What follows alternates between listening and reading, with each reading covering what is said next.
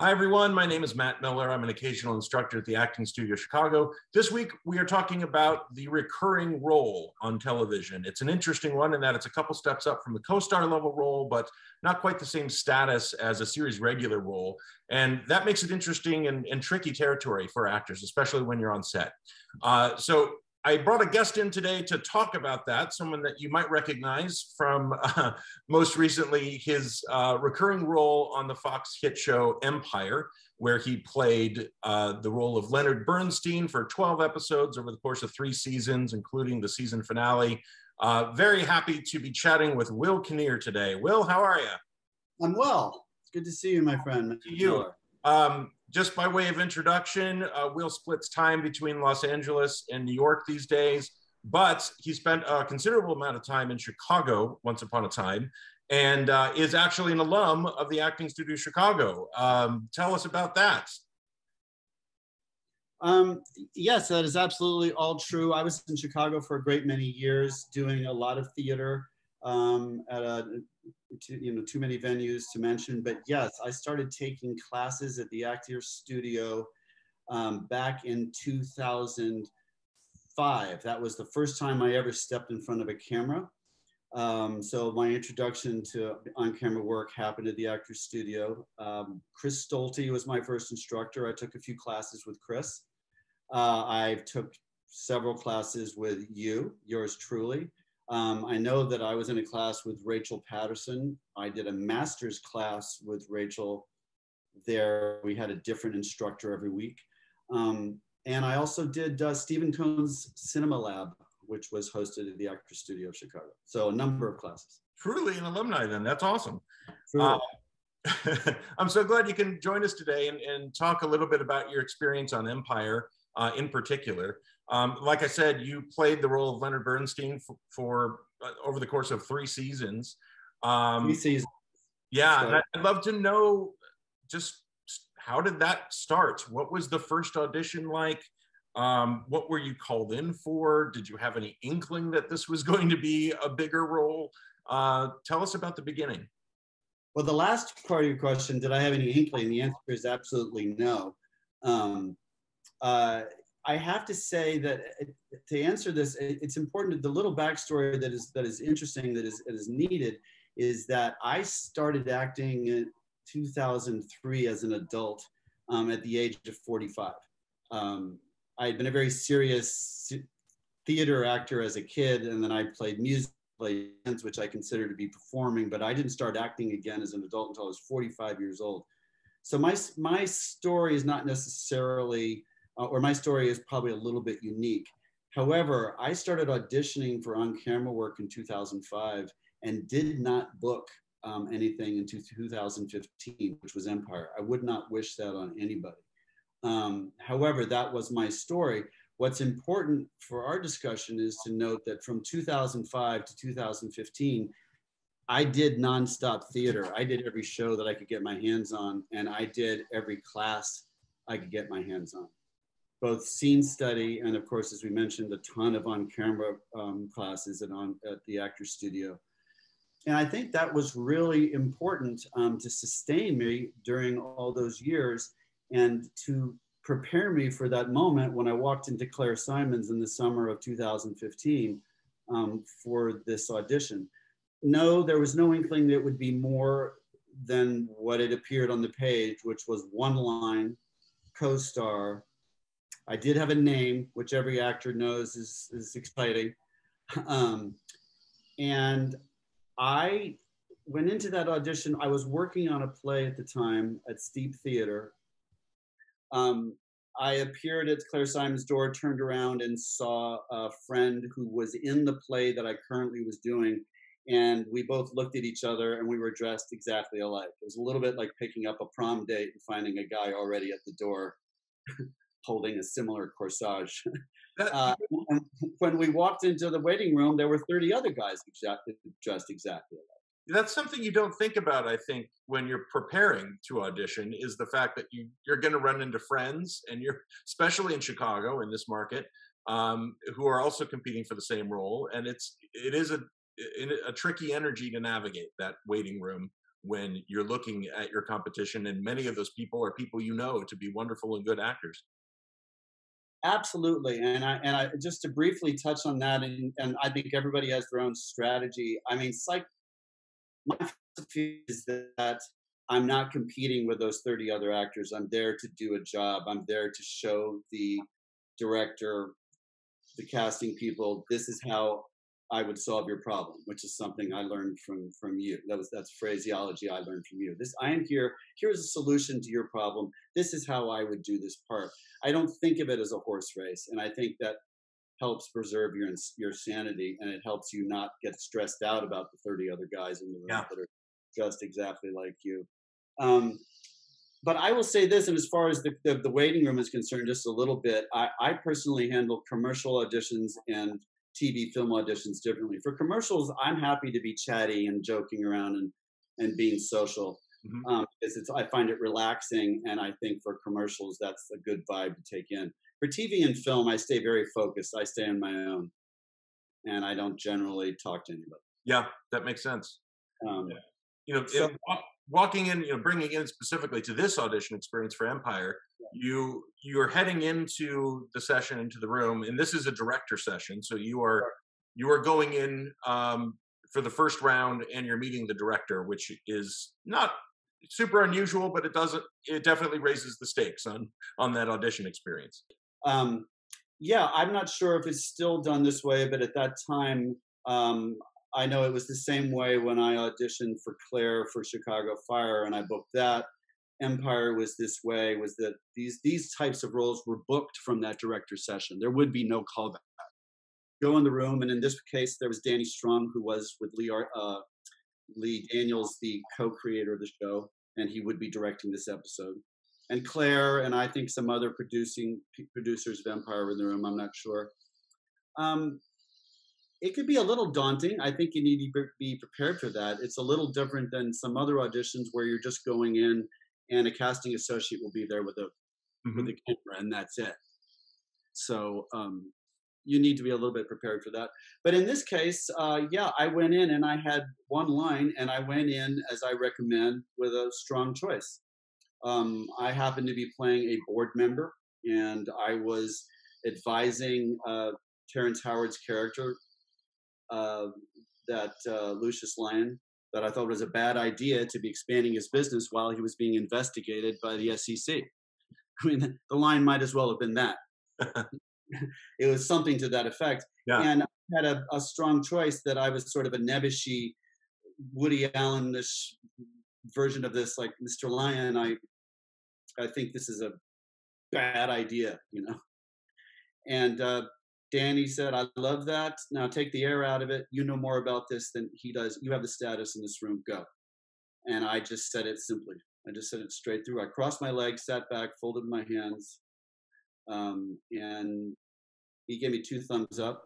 And after 10 years of not booking anything, you know, Jess Jones called me, you know, before I got to my car and actually said, You're on check avail, which didn't mean much to me. But the next morning, yeah, I found out I, I had booked it. Um, That's fantastic. I think it's important to note for your students that it can start to feel like these auditions are are pointless or that they will never be fruitful. Um, but I think you have to think of it as you're doing this, this is what you do, this is the job. You cannot focus on the result doing the audition is the thing itself mm-hmm. until you book the i'm not sure if that makes sense but no, i think you can't white knuckle the, the, the, result of it or you will drive yourself crazy and you won't do your best work. And i think after that much time and i would like to think that none of your students will take that long um, i had gotten to that point. This was just another audition. Mm-hmm. uh, and i wanted it but i certainly didn't get wrapped up in desperately you know needing it or yeah it's amazing what, it's amazing what the universe gives you when you're not desperately grabbing at it when you are relaxed and you know open and, and ready to accept what is what is coming through that channel to you I absolutely believe that's true about this business and, and, and others as well. I say this to young actors all the time. Do this because you absolutely love it Just do it every day and good things will happen, but you cannot be white knuckling the outcome. Mm-hmm. So you book the role and you go to set. Um, yes. Tell me about your shoot experience on that that set for the first time. What was the vibe? Um, you know, we can talk about how you prepared, but I'm, I'm more interested in knowing kind of how that how that first experience went overall. Well, the first thing I would say is uh, uh, I made the double mistake both for the audition and going on set in that I had never watched the show. Ah. Don't do that. Um, I have subsequently learned um, that it is important to understand the world that you are about to walk into. Uh, I have a teacher in LA who talks a lot about understanding genre. Mm-hmm. Is it a half hour comedy? Is it a single camera comedy? Is it a multi camera comedy? Is it an hour long drama? Um, understanding that world you're walking into will help you in the audition, and it is very necessary when you go to shoot. So I walked on that set knowing precious little about that show, which I think was a big mistake. And luckily my I had my antennae up and I was paying attention and I was listening and I picked up on what the vibe of the show was um, in terms of how people were playing stuff. And one of the things I noticed was that everything was very underplayed, um, a lot of lines being thrown away, and that the series regulars were all paying, Um, we're all very improvisational. mm. And uh, I think that was great. I think some of that's because they just got so much text every day, working 10 hours a day. There was no way they were going to memorize word for word. So I would say be prepared for your series regular scene partners to be improvising, but you as the co-star need to be word perfect. Yeah, good advice. I mean, yes, my first day I only had one line. It wasn't difficult, but as things went on, um, that was a rule that I that I adhered to. So yeah, the vibe was I was nervous. I think you've just got to accept that you're going to be nervous. It's a little bit out of body. I did not know until the night before that I would be sitting across from Marisa Tomei. Mm-hmm. I knew that Terrence Howard would be in the scene. And anybody that has worked will know that you get led by a PA from the from the from the down a long hallway and then on and on through a maze until all of a sudden you come into the light and there you will, might see Terrence Howard and Marisa Tomei chatting. and uh, it's natural to have a little bit of an out of body experience. I think that the way you deal with that, everybody deals with it differently, is to take a deep breath and say, this is what you wanted. Mm-hmm. Um, you cannot, this is no time to focus on that whatsoever. I think you've got so much you've got such a big job to do that the that it's not so difficult to ignore that fact and allow yourself a moment of being a little out of body, but that will go away. If it doesn't go away and you melt into a puddle, you probably shouldn't be there. fair, fair. But that's how uh, I, I, I walked in, sat down. Gratefully, there was a rehearsal. Um, Danny Strong was very supportive because I, Terrence was improvising and he was, he was my line know he was done. So there was this long pause, you know. I was I felt terrible about it. And Danny came up and patted me on the back and said, No problems. You know, when he stops talking, you start talking. Don't worry about it. Um, so that's how I handled it. And then very briefly, uh, after we broke for lunch, Terrence Howard, uh, being one of the nicest and most generous and kindest people I've ever met, came up, introduced himself to me, told me I was doing a great job, and did I know where the food was? And he walked me to the, and that made a a huge impression on me and relaxed me uh, more than I can say. Um, and anybody should be so lucky as to have that, have one of the stars be that kind.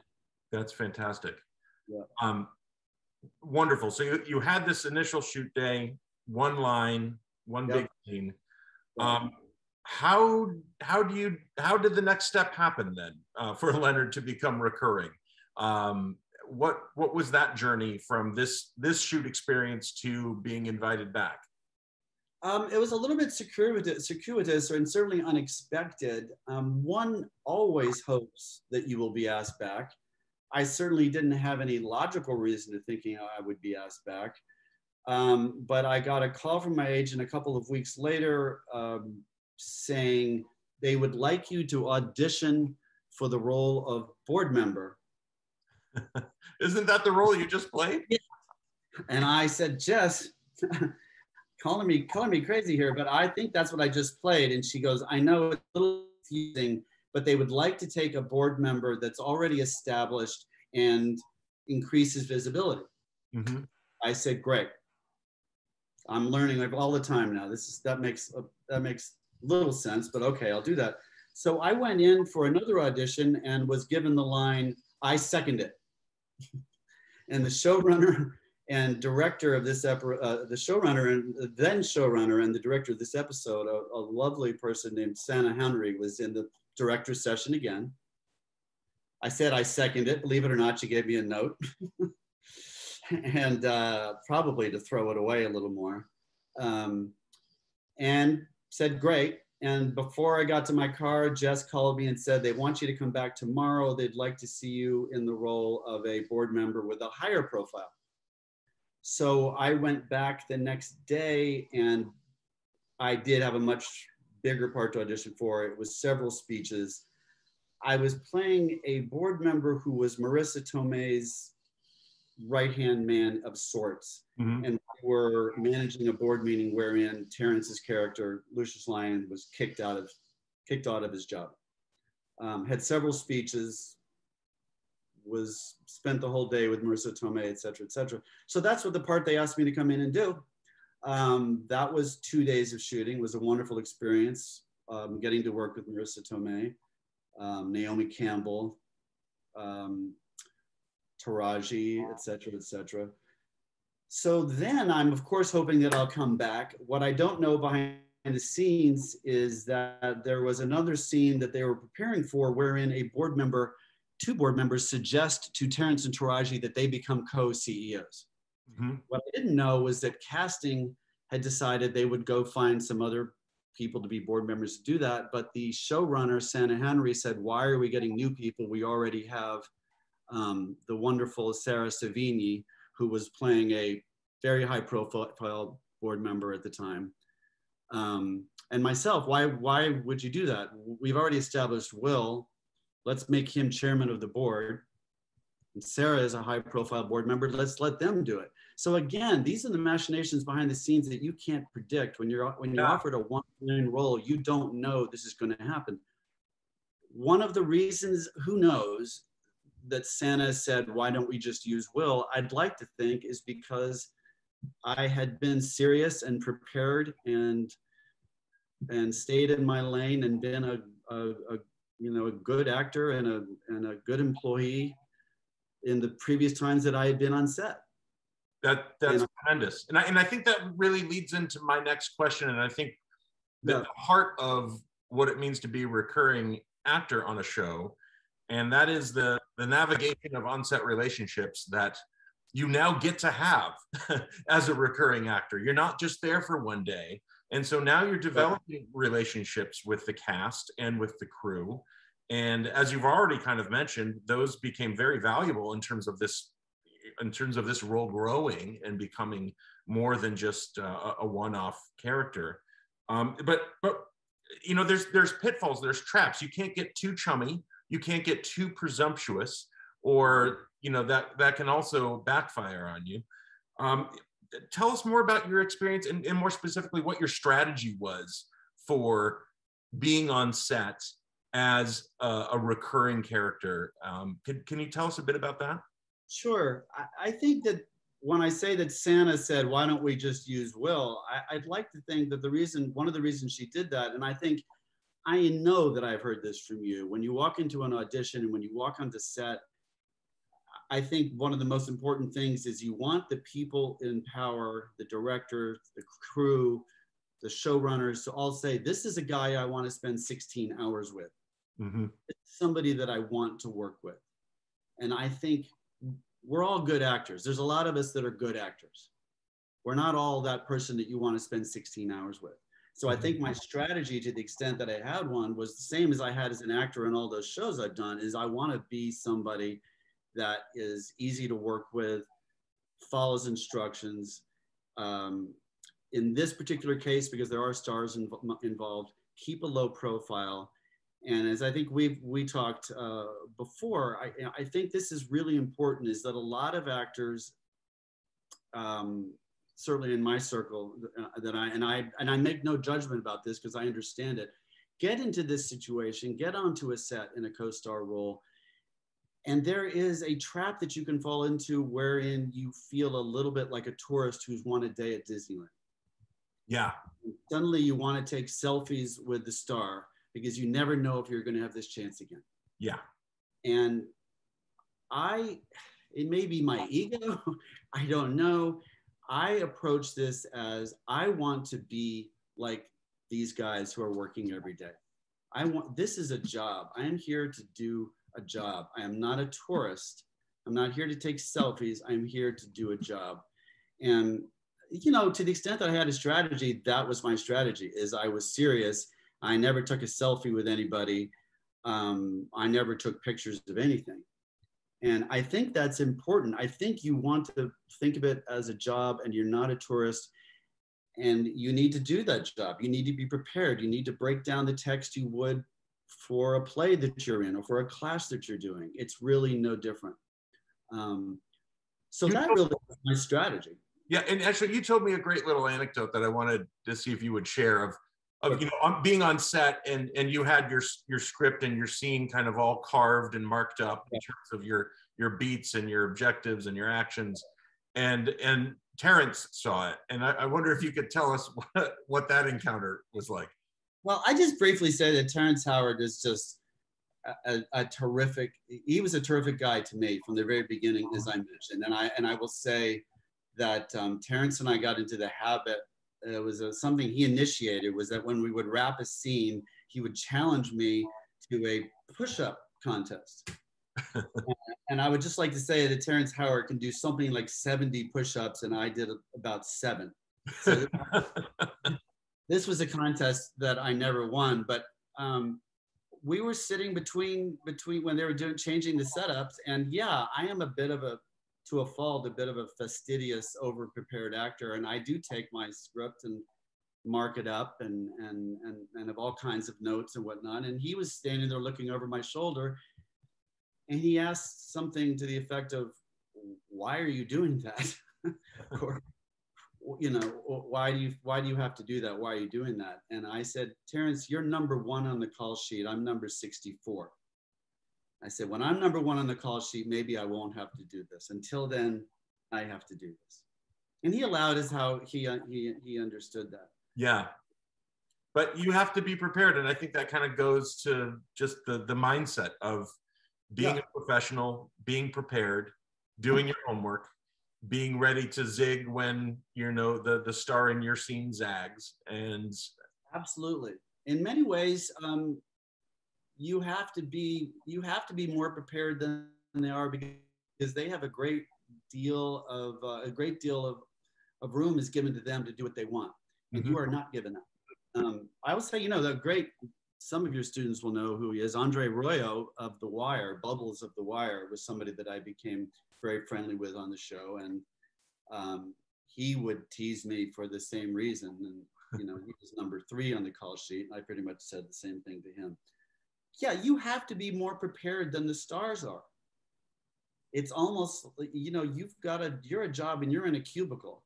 They're on the upper floors. You're in a cubicle. You've got to you've got to work harder in some ways. Um, and I think again that feeds back into you know why did I get asked back? Why did I make it for three seasons? I think that was a part of it. Um, yeah, and and uh, and the relationships that formed very organically with people like Terrence and Andre are another reason. And that kind of brings in another question. I mean, we've touched on it a bit already, but one of the challenging aspects of, and one of the exciting aspects of being a recurring character on a show like Empire is that most of your scenes are with the stars. You are in the scenes with the series regulars. And, you know, I just look at the short list of people that you shared screen time with uh, Taraji Henson, Terrence Howard, Forest Whitaker, Marisa Tomei, Gabby Sidibe. I know there's several more that I'm missing. Andre Royo, which should not be overlooked, is a uh-huh. wonderful.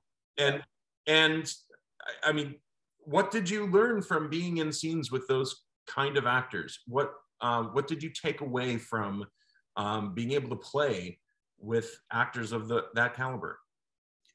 I mean, very selfishly, and it's a thrill. Um, it's thrilling. However, you, you, you can't allow yourself to really savor it until you're done shooting. I hmm. think an amazing thing happens ideally in that when you are working, that they literally become, and it sounds a tad cliche, they literally become just actors. Yeah. Um, you're standing there with Forest Whitaker, and I don't know how many Academy Awards he's won or been nominated for, but at the end of the day, he's an actor.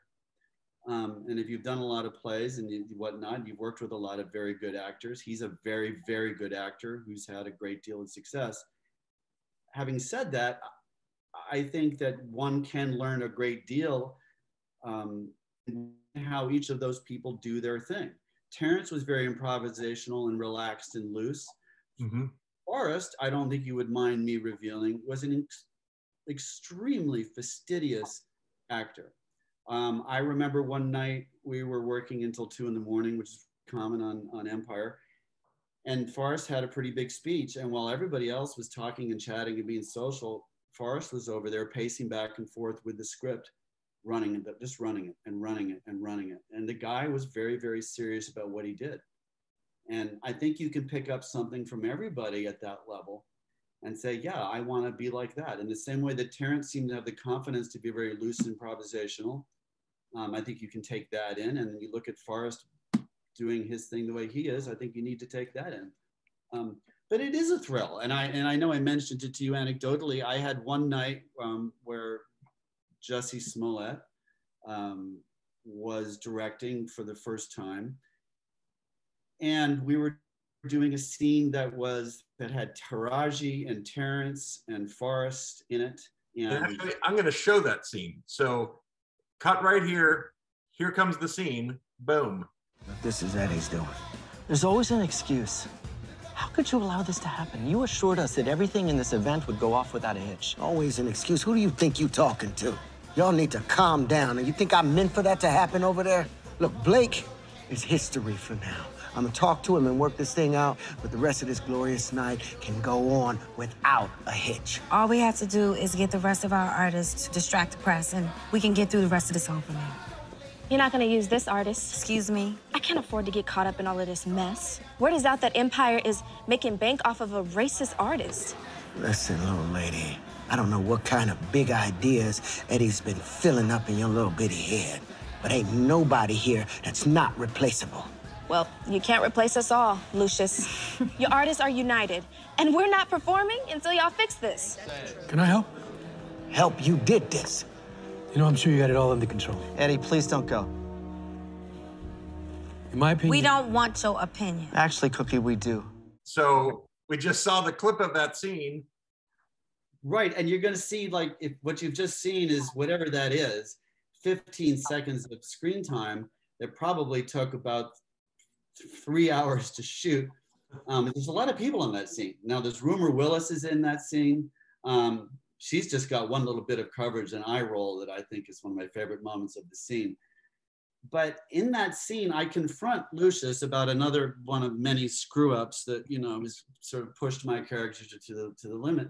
And I I had some line that confronted him, but right before we shot it uh, the first time, Jussie pulled me aside and changed the line um, to something that was a little more aggressive. And I can't remember, but you've seen the clip, you'll see what yeah. it is. It was more aggressive that Terrence wasn't expecting because he knows that I'm always word perfect. Sure. So he thinks he knows what I'm going to say. and he says, This is really going to piss Terrence off. And I love uh, director secrets, actor secrets. So sure enough, we shot it. This is a true story, and it's a little bit of name dropping, star dropping, whatever. But it was a great moment for me. We shot it, and Terrence just about his eyes just got big, and he was really angry, almost as though Will had said this to Terrence, you know. And I could see it worked. He was angry and really came at me, uh, and I'm not sure if that ended up in the what they finally cut. And afterwards, he came up and he hugged me and he said, "I hate I hate talking to you like that. I hate getting mad. uh, and that's, yeah. was just a great moment. And I think in the end of the scene, you'll see Forest Whitaker walks in and says, Well, I can see I'm needed and I'm not needed. And I said, Eddie, don't go. And Taraji says something. And I said, Taraji, enough, whatever I said, Taraji, whatever. And that night, I'm walking back to my trailer and I was thinking, you know, you've been doing this a little while, but you were just there in a little triad with Terrence Howard, whatever, yeah. with Terrence Howard and Forest Whitaker and um, Taraji. And I think it's important to savor that because as actors, we're always thinking, what's the next thing? What's the, how, where are we going to go from here? Where are we going to go from there? Who knows? At that moment, I said, I may never do anything that that good with actors of that stature. And I and I really let myself enjoy it. I really let myself enjoy it. I'm I'm glad to hear you say that because I do think it is important to smell those roses when uh, when they when they appear. Right. Um, I have one more little clip I want to share that I love that is between a, a board meeting with you and Terrence, and I'm going to play it now. Yes. Clearly, in light of this, Andre will have to step down and resign from the board. Really? Because according to those leaked emails, Vernon was the only person around here who paid for sex. Frequently. You mean Papa Bernstein? Uh, that's exactly what I mean, Pop. And I've seen some emails that put your... And uh, so I, I, I love the Papa Bernstein uh, little quip that Terrence has, and that does feel improvisational. Can you tell me about that moment? I can. I mean, there's two things. There's a couple of things about that scene. One thing is that I'm very disappointed that uh, this particular part of my character didn't get more fully developed. there was uh, somewhere, I, you're probably not showing it, I did a scene outside with Trai Byers, uh, Byers, Trai Byers, who played one of the sons, Andre, a wonderful guy as well.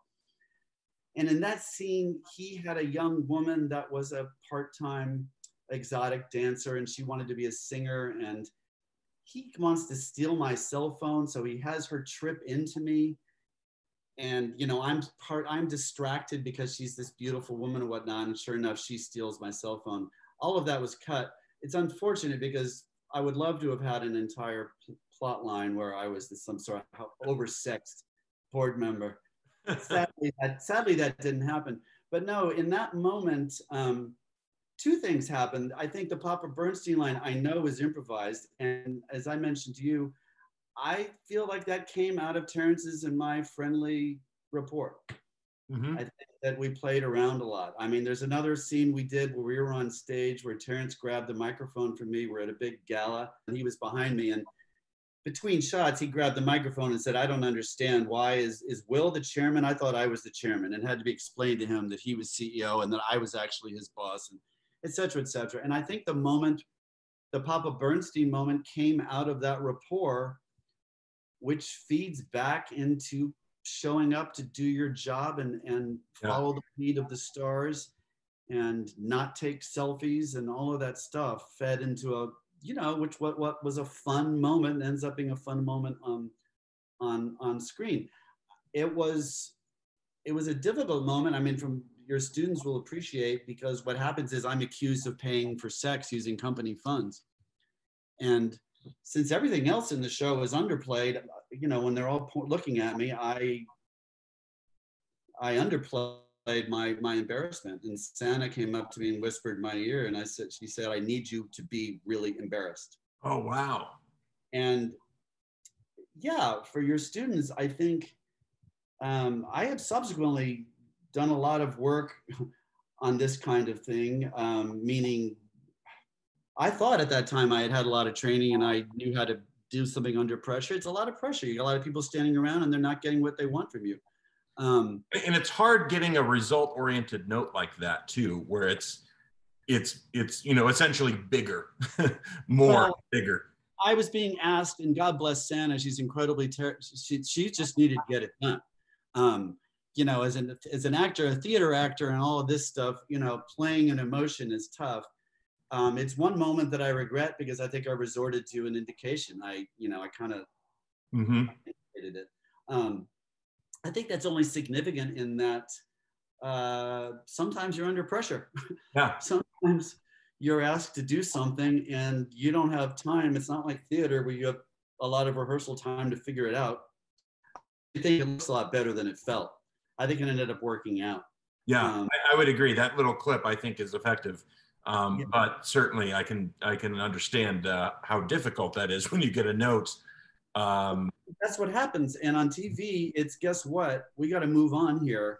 I need you to do, and that goes back to why you need to be prepared. I think what I'm saying is in that moment, I I had thought a lot about it.